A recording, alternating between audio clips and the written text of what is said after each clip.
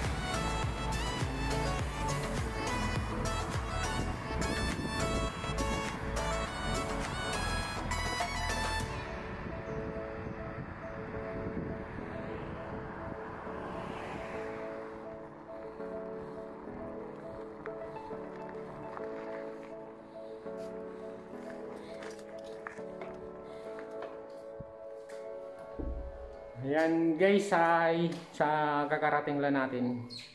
At saka nabutan tayo ng gabi kasi ano na tayo nagpunta doon, eh, hapon na eh, no? Pero sige sa susunod agagahan natin pagpunta doon kay para hindi tayo masyadong magabihan kasi la, ano may curfew dito ng 8 o'clock kaya hindi tayo pwede magtagal. So guys, salamat mga kaglintot, salamat. Sinamahan niyo ako doon sa pinupuntahan natin. At saka salamat pala sa mga nag-subscribe sa akin. Tapos uh, hindi pa nakapag-subscribe, mag-subscribe, paki-subscribe na lang at saka paki-hit ng notification bell at saka paki-share. Okay mga kaglintot, mga kasurigaw noon. ah, salamat at ah, see you sa susunod natin na vlog. It's caught in the crossfire.